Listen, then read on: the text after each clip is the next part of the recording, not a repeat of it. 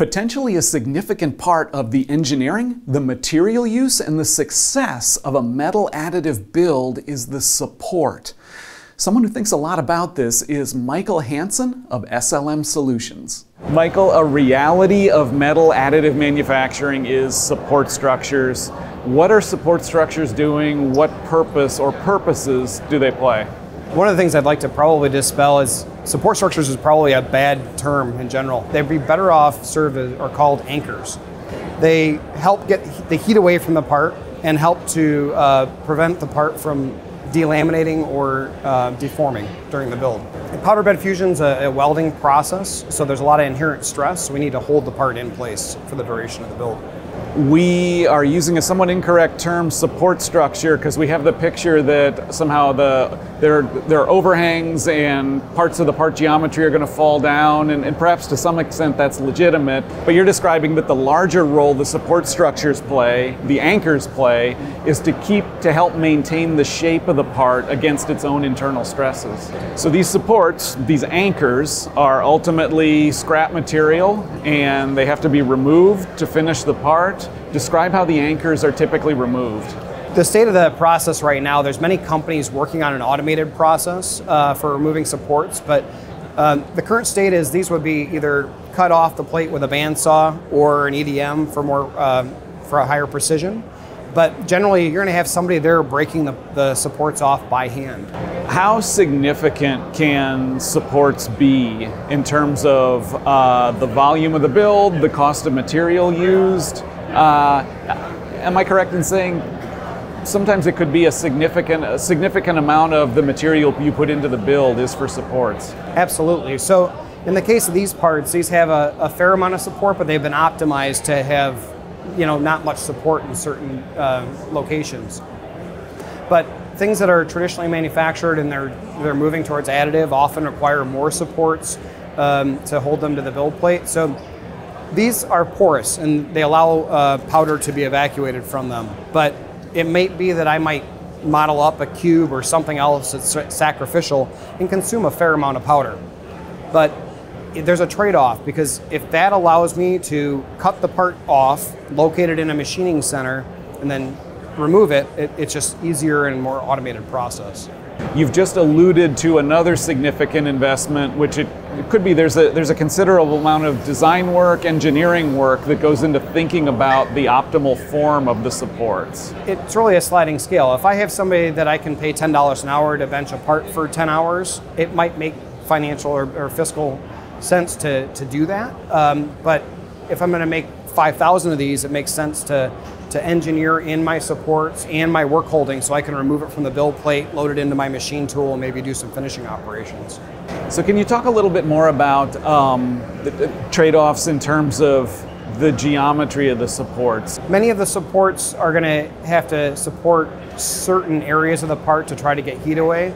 Uh, one of the examples I'll use from a customer, uh, they were doing some titanium arms, kind of similar to this, and they had removed all of the support except for a couple of areas because they wanted to just save that material. They had to go back, add more supports to it so that they could get the heat out of the part and not have um, that heat consolidation, which in the end was warping the part more and causing damage to the part.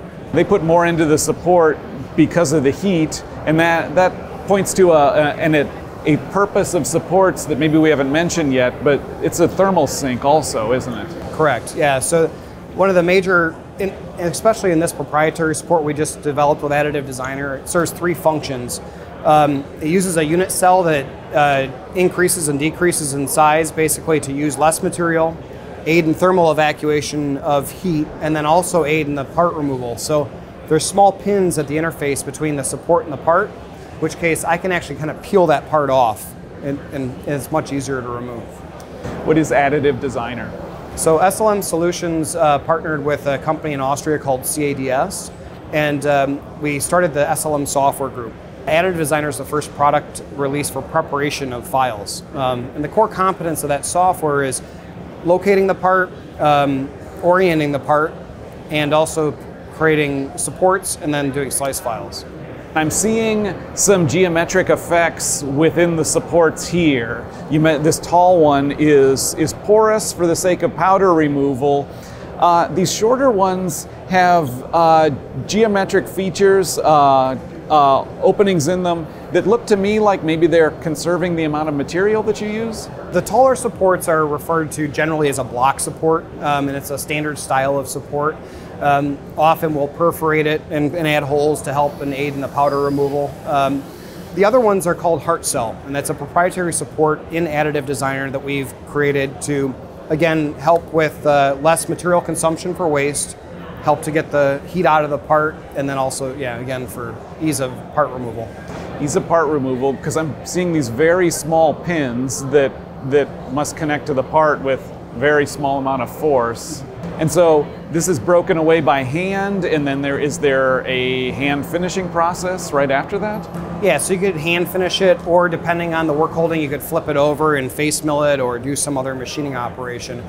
But the nice thing about having the small interfaces with the pins is if you get into steels and Inconels, you crush that with some pliers or something else to try to remove it, and it becomes this mass. And it's got a lot more mass, and then it becomes very cumbersome to remove.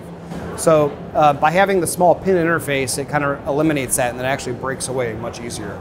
Am I looking at an orientation of this form, for example, that's optimized to minimize the amount of support needed? And that's a that's a great point, right? So if I wanted to really minimize this build time, I could probably take one of these and bring it down very close to the plate. But what I sacrifice there is I might have to add more support. Then there's more more post processing on the back end. Some people really need to get speed out. So I have a, a dental customer that you know they run two build plates a day so they try to cram as many parts on that plate that they can so it finishes within nine hours which is their shift time and uh, they could effectively probably double the amount of parts that they could produce by standing them up more vertically but it doesn't fit within in the model. It makes sense to have the, it constrained within that build time. Are there any geometries that are precluded from selective laser melting because there would need to be supports or anchors? As you kind of look at a 10 millimeter hole, they're going to start to get teardrop shaping and some other things that either can put support in there or you deal with the deformation that comes along with it. There's been advances, uh, again, in additive designer, we redid the slice file so that we have greater control over that. So the limiting factor now is a 25 degree angle instead of somewhere near 45. And that's what's publicized. We've done in our tests, even titanium parts, they will close the gap. And it's not going to be, the surface finish is going to degrade a little bit more, but we get good surface finish at 20 degrees. So we're going to continue to work and refine those scan paths so that we can remove as much support as possible. If the supports are poorly designed, what are some of the dangers? One thing is overbuilding supports and one's under, right? And they're going to fail catastrophically for different reasons. Overbuilding supports might mean that I have some mesh density that's too tight. And as I'm scanning it, because the power used in supports is different than the rest of the scanning strategies, it might grow out of the powder bed and then therefore interfere with the recoater and then eventually catastrophically fail. On the opposite side of that, if I underbuild my supports, I have a propensity for delamination where the part will peel, and then that's a much more catastrophic failure when a large part in, you know crashes into the recoater.